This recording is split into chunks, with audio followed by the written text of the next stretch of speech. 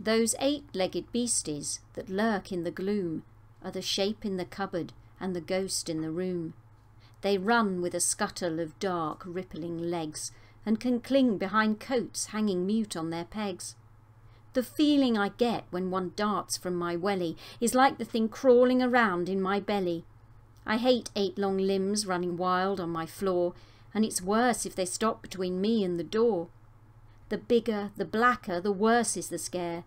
My favourite spider is one that's not there. If they stayed in the garden and kept out of sight, I could think they ate pests, and it might be all right.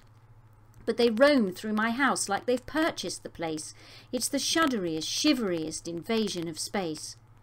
They're creepers, they're crawlers, dark darters and hiders, and if you just don't like spiders, you just don't like spiders.